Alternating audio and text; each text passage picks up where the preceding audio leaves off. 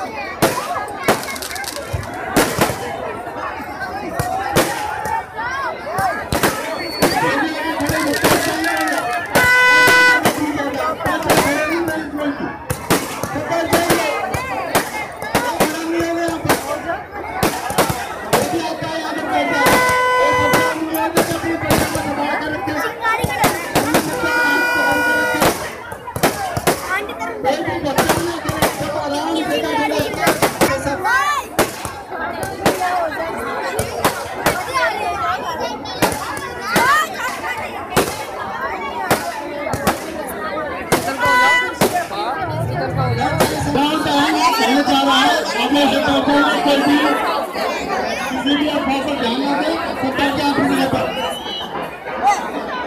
बीच जाता है दूसरे को आराम से करते कपिल से